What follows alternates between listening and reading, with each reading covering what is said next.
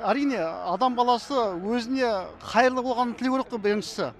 Ал енді әрине бақ дәулет бұл барша мұсылмандарға керек және мен ойлаймын бұл парыз міндет деп. Өйткені адам басқа біреуге көмектесу үшін жәрдем қолын созу үшін оның біріншіден бақ дәулеті болу керек. Сондықтан бүгінгі күні ол бақ дәулет сұрағанның ешқандай әбестігі жоқ керісінше бұл өте керек дұғалардың бірі. Өйткені біз егер бақ дәулет болса біз тек қана жаңағы жәрдемдердің ішінде мектеп саламыз көпір саламыз болмаса қазір бүгінгі күні қоғамда көптеген жас отбасыларымыз бар пәтерлері жоқ. Оларға пәтер салып береміз. Осылардың барлықтары үшін де белгілі бір мөлшерде дәулет керек. Сондықтан мен ойлаймын біз бүгін тек қана осылай э, құлшылықты ғана емес сонымен қатар дүниені де сұрауымыз керек. Және бұл дүние бізге бір сауап амал жасау үшін керек нәрселер. Өйткені егер біз бір сауап үшін дүние сұрамасақ ол дүниенің бізге керегі де жоқ шынында да.